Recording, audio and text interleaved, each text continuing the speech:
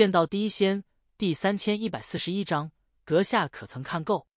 灵宝天城高高的城墙上悬挂着鹿鼠妖族等人，而在城墙前，命魔一脉的强者跪倒了一地。其中，金袍老者、灰衣女子和血衣男子三人，皆是不弱于殷奇的角色，能够轻松镇杀妖族。可现在，他们也和其他人没区别，被镇压跪地，头颅深埋地面。唯有苏毅那孤零零的身影立在场中，一袭青袍飘曳，恬淡出尘。从抵达灵宝天城那一刻起，苏毅就不曾显露什么情绪变化，被重重围困。被不断挑衅和诋毁，都未曾让他情绪有任何一丝的变化。那是一种骨子里的平静，不声张，不显露，无喜无悲。可当他出手，一切都变得不同。进阵之巅，白衣女子手脚发凉。整座沙阵完全由她一人掌控，若她愿意，杀妖族也不费吹灰之力。可现在，整座沙阵都已被他运转到极致。威能也催动到极致，却依旧无法撼动那一口遮天蔽日的大渊。直至看到那些族人全部跪在地上，白衣女子的心彻底沉入谷底。他们失算了。那姓苏的命官不是太弱，而是太强，强大到让他们所有人都看走眼，强大到自始至终对方都不屑争辩什么，视他们如无物。事实也证明这一点。当大战上演，对方轻描淡写之间便镇压全场，一如主宰发威，一念间便翻了天。是那该死的三世佛撒谎，坑了我们。命官根本不是他所说的那般弱。白衣女子悄然攥紧玉手，作为命魔一脉的祭师，白衣女子的地位和实力自然远非一般人可比。这一刻，他深呼吸一口气，开口道：“苏毅，你现在收手。”我可以把那些人质的本命字交还。清冷的声音回荡在城门前，苏毅袖袍一挥，高悬在城墙之上的鹿鼠妖族等人身影凭空消失，被他收进了袖里乾坤。而后，他这才转身看向高高立在禁阵之巅的白衣女子，道：“你也跪下。”很平淡，也很没气势的一句话。可当声音在回荡时，一股恐怖的威能从命书上扩散，那一口黑洞般的大渊骤然扩散，轰隆，天地动荡，整座血魂焚道阵遭受到可怕的冲击，再被大渊吞没。白衣女子大惊失色，挥动血色镰刀，全力抵挡，可却像螳臂挡车，几个眨眼而已，这座被命魔一脉视作足以镇族的杀阵就四分五裂，连白衣女子。都差点被吞噬。关键时刻，他脚下一点，身影如闪电般挪移长空，挥动血色镰刀朝苏毅斩去。血色镰刀恰似一轮猩红的残月，带起无匹耀眼的光，锋芒无双。苏毅屹立原地不动。当那一轮残月般的血色刀光斩来，却被一股无形的大道力量阻挡，停留在苏毅头顶上空。而后，猩红的刀光。一节节爆碎炸开，像在苏毅头顶绽放了一束烟火，璀璨瑰丽，额儿便黯然凋零。白衣女子错愕，眼眸瞪大，明显被震撼到。而苏毅随手一扶，白衣女子的身影砰的一声跪在地上，血色镰刀都脱手而飞，被苏毅隔空抓在手中。全场死寂，每个命魔一脉强者脸上都写满了惊惧和惶恐。这。难道才是命官真正的实力？未免也太恐怖！随着血魂焚道阵毁掉，一直被隔绝在外的殷奇终于看清了城门前的景象。旋即，他不禁愣在那。和他最担忧的一幕不一样，苏逸飞但没有遭遇不测，反倒成了在场最醒目的一个。因为只有他站着，其他人尽数跪了一地，包括祭师斐牙。这，殷奇脑袋发懵。难以相信，当看到苏毅没事，他本该感到轻松，因为只有他清楚，苏毅一旦出事，被困命书中的帝师莫寒衣等人肯定也会遭殃。可现在他却轻松不起来，原因很简单，他完全没想到自己那些族人会败得如此快，如此一塌糊涂。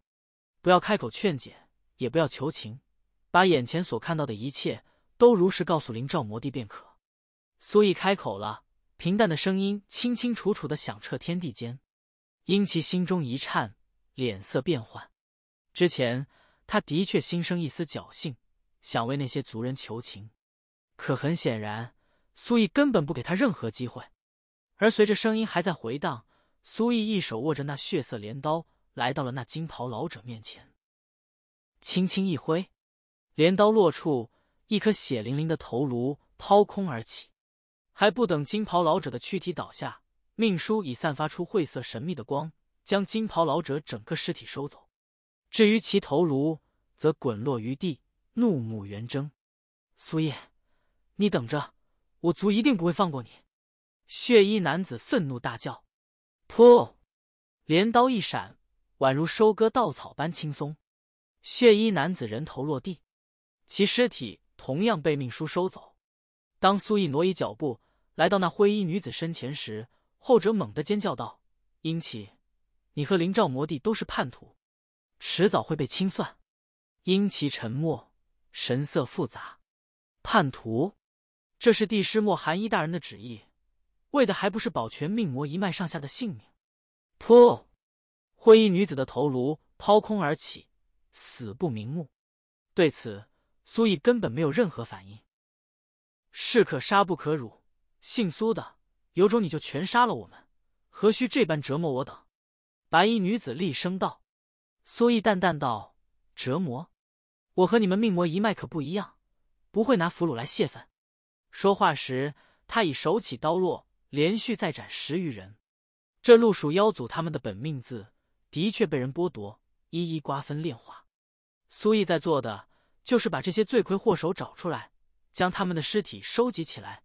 找回陆蜀妖族等人丢失的本命字，若非如此，他早就将这些敌人灭杀，根本不屑去一一折磨对手。很快，苏毅屈指一弹，咔嚓，手中的血色镰刀四分五裂。这是白衣女子的本命宝物，在被毁掉之后，让她当场遭受反噬，咳血不止。该结束了。苏毅轻语，脚下轻轻一踏。犹如发生了一场无形的地震，那跪在地上的命魔一脉强者躯体皆像崩塌的雕像般瓦解，化作漫天飞灰。白衣女子也如此，在被灭杀那一瞬，她只有一个念头：这姓苏的命官实力究竟强大到何等地步了？殷奇呆呆的看着这一切，失魂落魄。苏毅自始至终都显得很轻松，杀敌的方式也很随意和漫不经心。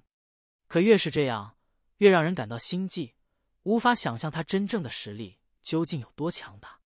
听说命魔一脉有收集首级为功勋的习惯，这些人头你也可以带走。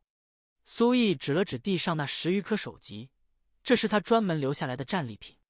远处，殷奇苦涩开口道：“命官大人，你把事情做得这么绝，怕是会适得其反，让我族那些老顽固根本不可能考虑臣服的事情。”苏毅转过身，看向殷启，平静道：“我当初不是说过吗？念在莫寒衣的面子上，我可以给你们臣服的机会，而不是我求着你们臣服。”殷奇神色黯然，低头不语。不想臣服也无妨，我自会奉陪到底。苏毅抬手收起了命书，且看看最后谁能笑到最后。殷奇叹道：“我会把今日之事和这些话都如实告诉灵照魔帝。”由他来做决断。苏毅颔首，正当如此。旋即，他话锋一转，道：“不介意的话，趁此机会跟我说说你们命魔一脉的事情吧。”在开战之前，殷奇就打算说这些，可却被苏毅打断，因为苏毅一心想救人，根本没心思听这些。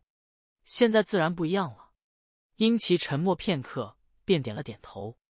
半刻钟后。苏毅了解到了命魔一脉的一些状况，在是否臣服这件事上，命魔一脉内部产生了极为严重的分歧。灵照魔帝只是命魔一脉四位主宰之一，他依照莫寒衣的命令，多次尝试劝说族人和命官进行和解，但却遭受到其他三位主宰的激烈反对，并且还因为这件事让灵照魔帝被骂作叛徒，在命魔一脉引发了极大的非议。到现在，灵照魔帝自身处境都变得很窘迫，连他的手下都心生不满，陆续和他划清界限。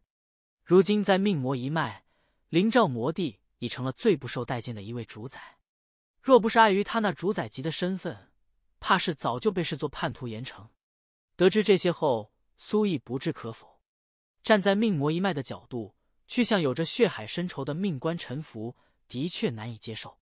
灵照魔帝的做法，自然会遭受到激烈反对。可站在苏毅的角度来看，这是他再给命魔一脉机会。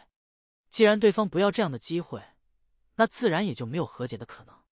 唯一最受委屈的。自然是灵照魔帝，夹在中间，里外不是人。想了想，苏毅道：“以后我和你们命魔一脉之间，即便发生最坏的结果，我也可以保证给灵照魔帝那边一个存活的机会。”阴气一怔，苦涩道：“我只希望不要发生那最坏的结果。”最后，殷奇带着那些血淋淋的首级离开了，心情沉默，满腔苦闷。经历今日之事。让他愈发意识到，要想让命魔一脉和命官之间和解，近乎是不可能的事情。这等情况下，灵照魔帝的处境可想而知会有多窘迫和不堪，而他自己也必将背负叛徒的骂名。世上之事就是如此无奈，阁下可曾看够？而在殷奇刚离开不久，苏毅忽的扭头望向灵宝天城那巍峨的城门内。